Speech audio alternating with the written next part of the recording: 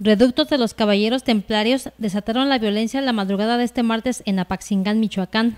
Todo ocurrió en las cercanías del rancho Ananaki, conocido también como La Fortaleza, donde policías estatales habían decomisado un tráiler y una camioneta pick-up y los trasladaban hacia la cabecera municipal de Apaxingán. En un momento determinado fueron atacados por sicarios quienes prendieron fuego al tractocamión y a la camioneta, iniciando así un intercambio de balazos que dejó como saldo tres policías estatales muertos y cuatro sicarios también abatidos.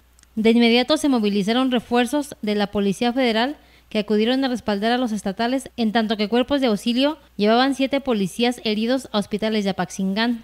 La zona fue resguardada de inmediato con un operativo en el rancho que fue propiedad del extinto Nazario Moreno El Chayo, fundador de los Caballeros Templarios. Los sicarios que participaron en la refriega se retiraron por veredas y cuevas en el cerro para evadir la búsqueda que realizan militares y federales para dar con todos los integrantes del grupo agresor, que dejó abandonados los cuerpos de los sicarios que murieron en la balacera. Para Cuasar TV, Sandra Sáenz.